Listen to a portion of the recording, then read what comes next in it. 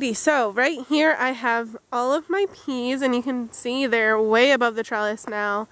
Um, I have started harvesting them a little bit. Uh, I got about a handful today.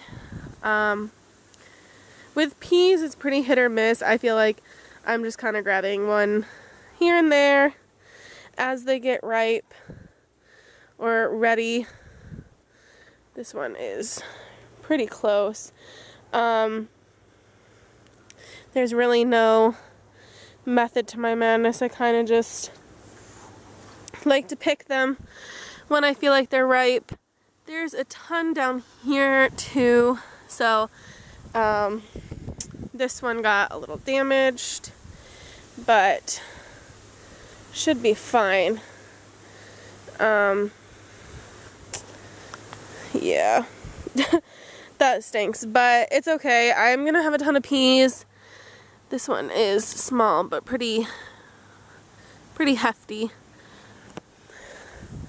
And then on this other side, I don't believe there's any peas yet. Um, there's like little tiny ones, but nothing really um, too impressive. I do have the two random bean plants here. These are just normal like green beans. Um, they're starting to have some buds on them now. Look at this marigold plant. I planted some marigolds in here not thinking that I couldn't get to the weeds. Um, but they're still growing really well. This is the other random bean plant that I have. So this is just a marigold. And then I have some New Yorker tomatoes. This one has a bud, or a blossom I should say, and multiple buds right here. I'm super excited that um, this is starting to produce some blossoms and stuff. Um, this one is fasciated, so it's gonna probably have some cat facing, but um, I am really interested to see how this will turn out, so I'm gonna leave it. There's tons of buds. Now, New Yorker tomatoes are bred so that they produce um, earlier than most tomatoes. This is gonna be a pretty big blossom, I think. Um, this is another New Yorker. Then I have a beautiful marigold plant right here with a ton of blossoms on it. And then I have a lone um, New Yorker over here too, which starting to get some blossom or blooms, buds on them as well. This next row, I have another marigold plant that's just doing really nicely. I have a really small Roma tomato. And then I have a couple bigger Roma tomatoes down further. These have some really small buds on them. Um, it's still pretty early for the Roma. This is my biggest Roma tomato. As you can see, it has some buds right here. I need to get that one staked up. So right here are my two Chadwick cherry tomatoes. These have a ton of buds and a couple blossoms on it. So I'm really excited about that. Um, cherry tomatoes are probably one of my favorite types of tomatoes. Um, so I'm really excited. It smells like tomatoes. These are all homestead tomatoes. Um, they've got some on there. They're still really um, premature. And then I have two more plants down here. Now, if you've ever grown tomatoes before, you know what I'm talking about when I tell you that it tastes or smells like tomatoes. Tomato plants have a very distinct smell of tomatoes and it's one of the best smells, I think. Um, it just smells so fresh and yummy and it makes you want to just eat a whole bunch of tomatoes. Um, so I'm so happy with the progress that my tomatoes have made so far, especially because it's been a little bit colder and really wet this spring, but they have redeemed themselves. Um, I was worried that I wasn't going to get a ton of tomatoes, but the plants are doing really well now, and I still have about a month and a half before it starts getting cool again, so I should definitely have a pretty good harvest of tomatoes this year, I think. I mean, I have my peas, so at least I have something, right? So next, I have Pepper Alley. Um, this section right here is primarily jalapenos, Anaheim, and then bell. Then over here is mostly um, jalapeno and then banana peppers. So let me show you some of my bigger plants. So this right here is a jalapeno. It does have a tiny little bud right here.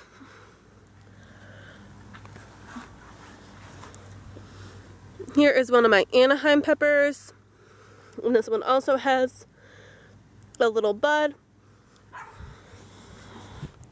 I need to come through with uh, the weed eater and get rid of some of these bigger weeds. And then right here is my pride and joy. This is my biggest banana pepper plant and it has a couple buds on it. And so I'm just really excited to see this start producing.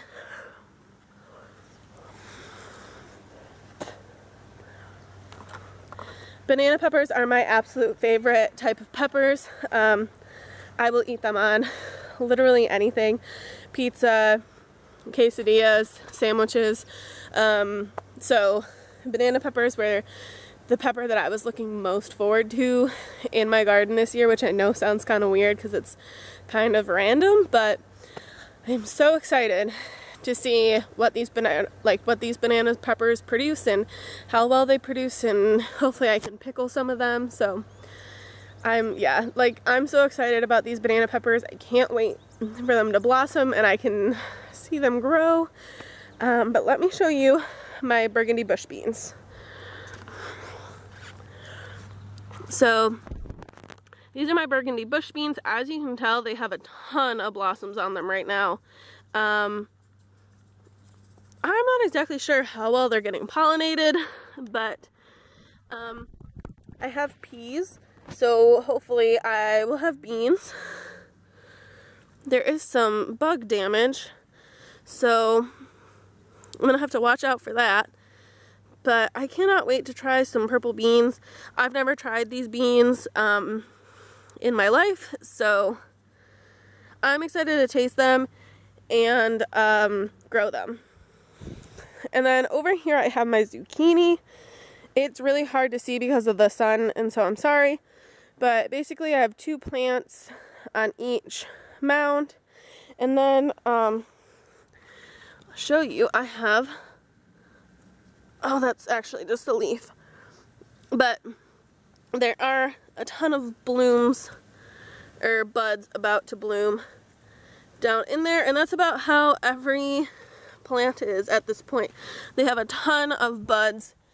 Um, they're just not producing any blossoms yet. Alright, so as you can see, uh, these potatoes are pretty dead. Um, this one still has just a little bit of life left in it but I don't want to leave these potatoes in here for too long because I don't want them to start rotting. Um, it's not time to really harvest potatoes. I think this um, plant just got a little bit sickly. It doesn't affect the potatoes at all.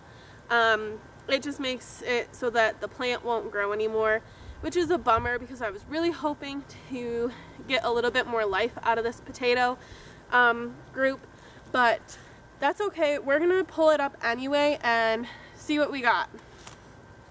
So I'm just gonna grab it by the base and pull. Wah, wah. All right, so I've got one little potato. um, here's my one potato so far. It's um, a little small, but that's okay. I brought this basket to put these potatoes in, but it's gonna fall right through. So, yeah. Um, let's see what else we got in here. like, you can see it definitely started um, creating potatoes, little tubers, but nothing yet. Let's see what this one has. Okay, look at it. We got a little bit bigger. So that one's not too bad. And again, just kind of the roots. Oh my gosh! Guys, look at I have potatoes. Oh my gosh, I'm so excited. This is one that I can actually like eat. Check it out.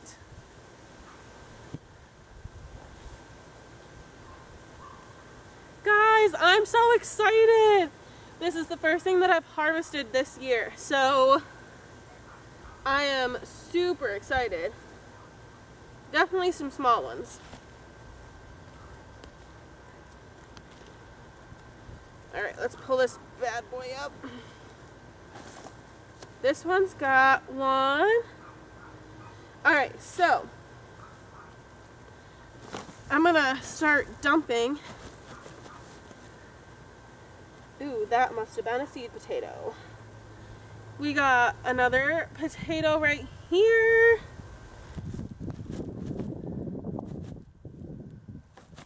I'm just gonna kind of. Oh my gosh, look at that one started growing, but I think it'll be okay. Oh my gosh. Guys, oh my god, I'm so excited. I actually have potatoes. Oh my gosh. Oh, okay.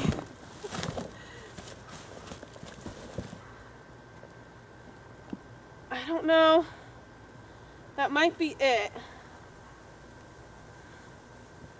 Oh, we got another one right here.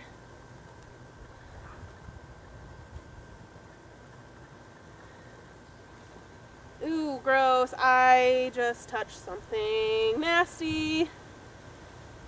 So there's definitely some grub and stuff in here, um, which I don't really think that helped. There's another one that was in here still. It kind of smells funny. I'm not gonna lie. Alright, I think that's it. Now, I put this trash bag in here so that um, the tubers would be safe from the sunlight because uh, potatoes don't like sunlight. But I have about one meal's worth of potatoes in this bin. Um, obviously that's not a lot. Um, but like I said, I think this plant got sickly. Um, before it could really produce much of anything, unfortunately. Um, but you know what? I think this was a pretty good learning experience for me. Um, I think that growing potatoes can be done in a container. However, um, I would definitely try something a little bit different next time um, hopefully I can grow them again next year and try something different and show you guys how that one does. But I will remind you that this is only one of my container potatoes. I have another container potato um, that is still growing. It's still alive and well. So I'm going to leave that as it is. and I have um, potatoes in the ground that are still growing really well. And I'm going to leave those as they are as well. And we're going to see how those ones do because I think this one just got sick. I think it would have done a lot better if it had stayed healthy. Um, but I'm still pretty happy and excited with what I have. Um, it's the little things that go a long way, especially when this is your first year of gardening. Sorry. um, there was a really kind of big burst of wind and I knew that the camera would not pick up my voice. But um, yeah, I've never grown potatoes before. I don't really know anybody that's grown potatoes before. So for me, this is a huge deal and I'm so happy. Um, so let me take you inside and I'm going to show you them hopefully a little bit better in there. Alrighty, so here are my potatoes all washed up. I'm really excited. Um, I'm pretty sure these are the red Norlands. Um, they're not purple, so they're definitely, I don't think they're the purple majesty. Um, obviously I have some really small ones, but I will probably cook up about half of these. Um, maybe make some like fried potatoes for morning. And I'm just so, so happy. Alright, so I know the background's probably going to be kind of messy. This is my kitchen. My kitchen is perpetually messy all the time. But I'm so happy with the harvest that I got, even though it was a lot smaller than I was hoping for. Um, I guess it's just kind of how things are when you garden. You never really know what you're going to get, especially with potatoes since they grow underground. But hopefully the next time I do a potato harvest video, I will have more to show.